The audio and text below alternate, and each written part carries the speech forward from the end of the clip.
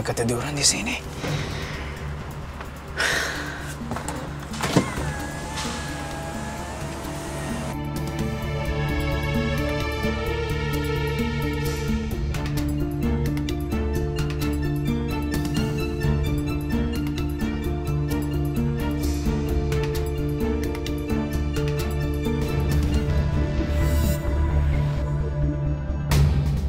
Nah, David,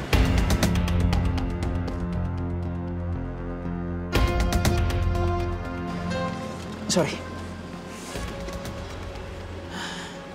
kamu udah lama di sini?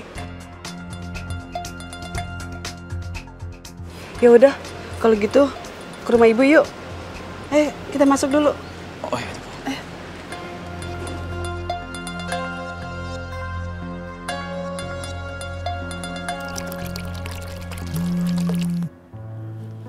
Ya halo. Selamat pagi Pak Abimana. Saya dari Rumah Sakit Medika Pratama ingin mengabarkan kalau hasil tes Bapak sudah bisa diambil dari sekarang. Baik. Saya ke sana sekarang ya.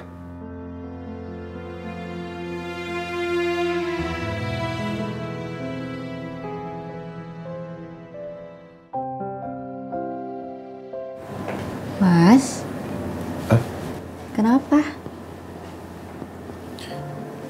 Enggak, nggak apa-apa. Tapi kok bengong gitu tadi? Oh enggak. Em, saya baru kepikiran kalau saya ada meeting pagi ini. Jadi kayaknya kita berangkat ke kantornya masing-masing aja. Nggak apa-apa kan? Kirain kenapa? Ya udah nggak apa-apa, nanti biar saya berangkat sendiri aja. Iya, nggak sendiri juga. Maksud saya, kamu diantar sama supir. Iya. Ya udah, saya berangkat ya. Hati-hati ya, Mas. Iya.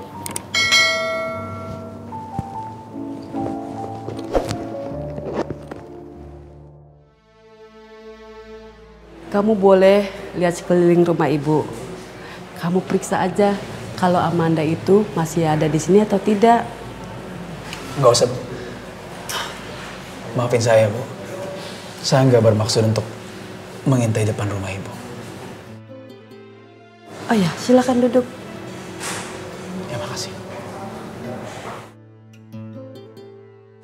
Seharusnya ibu yang meminta maaf sama kamu, Nadapit. Ibu sudah berbohong sama kamu. Sebenarnya Amanda itu kemarin masih ada.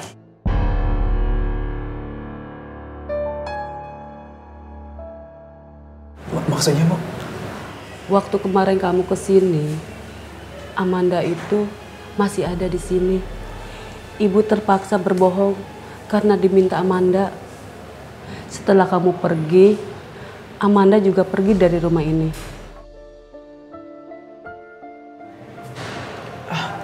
Ibu, Ibu tahu dia pergi ke mana? Ibu nggak tahu nak.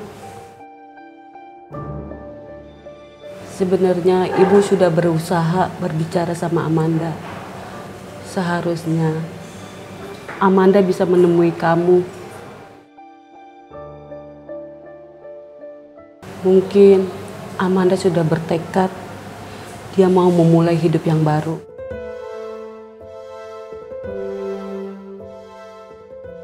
Kenapa kamu malah pergi gini, Amanda? Masih banyak yang harus kita bicarakan. Kalau kamu pergi jauh, gimana aku bisa menemukan kamu lagi?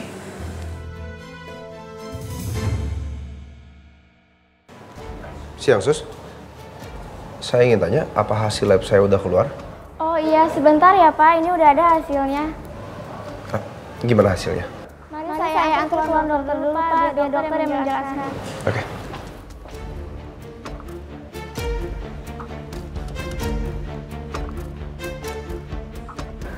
Permisi dok, ini hasil tes labnya. Makasih, Sus. Pak Dadang, silakan duduk.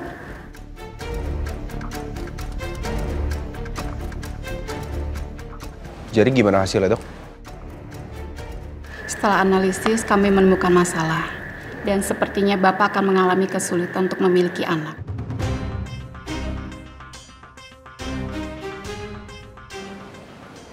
Saya akan akan susah untuk punya anak. Begitu maksudnya, dok? Dari hasil sampel yang Bapak berikan, memang hasilnya seperti itu, Pak. dan ada kemungkinan Bapak mengalami azoospermia yang mengakibatkan kemandulan. Maka oleh dari itu Bapak bisa melakukan tes lanjutan untuk mendapatkan hasil yang maksimal.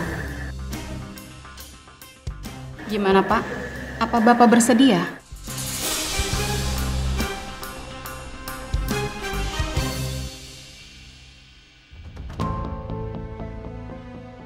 Nggak mungkin. Ini pasti salah. Saya ini seorang Sudirja. Nggak mungkin saya nggak bisa kasih keturunan. Tapi gimana kalau nanti sampai tahu kalau saya nggak bisa kasih dia anak? Apa dia akan tinggalin saya?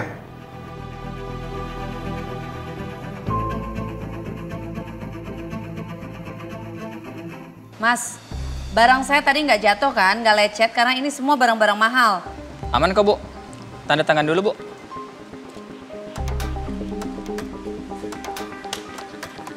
Oke. Ah, nih. Kenapa? Kurang ya? Yaudah, nih buat kamu semua. Ini untuk saya semua. Iya, ambil aja, udah. Terima kasih banyak, Bu. Saya permisi dulu ya. Nggak apa-apa deh. Aku ngasih tipnya kebanyakan. Seharusnya kan aku ngasihnya tadi 20 ribu kek. Ngasih jadi 50 ribu. Lebih 2 ribu lagi tuh, 52 ribu. Tapi nggak apa-apa lah.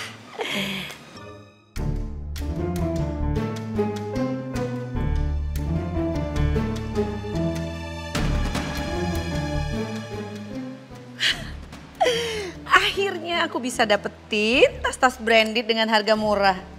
Aku kan bisa jual lebih mahal dua kali lipat. Kalau gini kan, aku bisa lebih sukses daripada Herman. Jadi aku nggak usah butuh Herman lagi. Yang ada, Herman yang aku tendang dari hidup aku.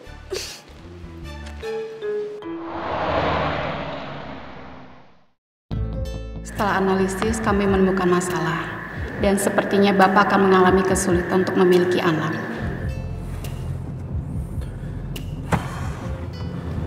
Nggak mungkin. Dokter itu pasti salah. Saya harus pastiin ini.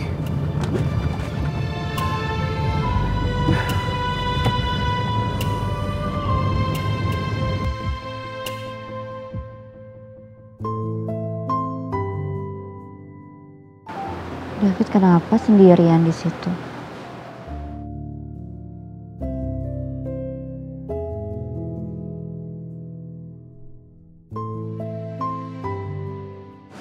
Fit, Eh, Kinan. kamu kenapa kok ngelamun? Ah, aku ke tempatnya Amanda di kampung tadi. Aku kira dia masih tinggal di situ, tapi ternyata dia udah benar-benar pergi. Kamu yang sabar ya, Fit. Ya mungkin aja Amanda memang lagi butuh waktu sendiri. Ya, aku nggak apa-apa, Kinan. Aku cuma masih ngerasa, masih ngerasa kehilangan, Kinan. Ya, mudah-mudahan aja kalau aku dan Amanda memang berjodoh, kami bisa ketemu lagi. Aku juga berharap yang terbaik buat kamu. Thank you. Ngomong-ngomong, Tuan Mada di mana? Lihat tadi kamu sendirian? Oh, iya Mas Abi lagi ada meeting, makanya aku berangkat duluan. Meeting? Perasaan Tuan Muda nggak ada meeting pagi ini? Oh, mungkin ada meeting dadakan kali ya? Oh, iya mungkin aja.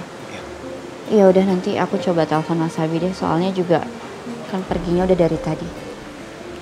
Oh yaudah, kalau gitu aku ke ruangan dulu ya. Thank you.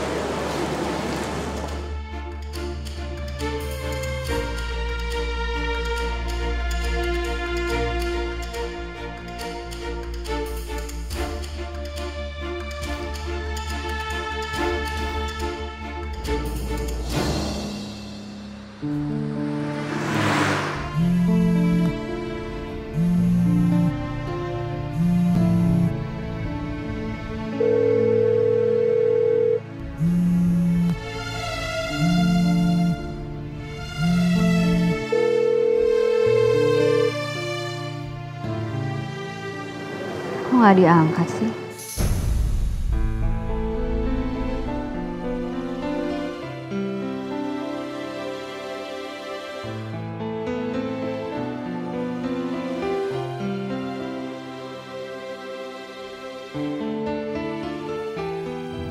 Maafin saya Kinan. Saya belum bisa kasih tahu kamu sejujurnya soal ini. Saya juga nggak akan kasih tahu ke siapa pun.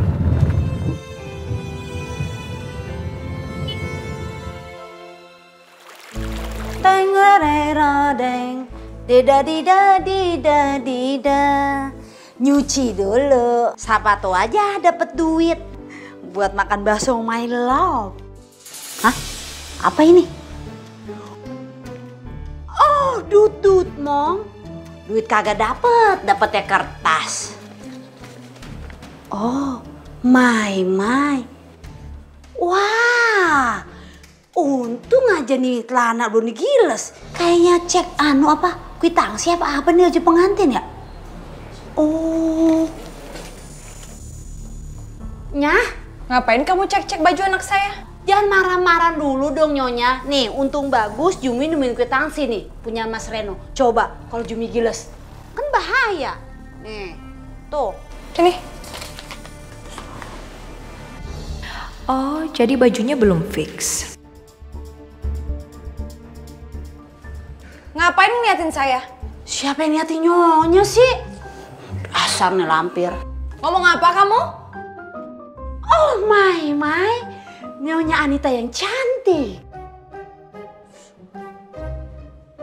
Cantik malah hampir. Uh, kagak ada bener.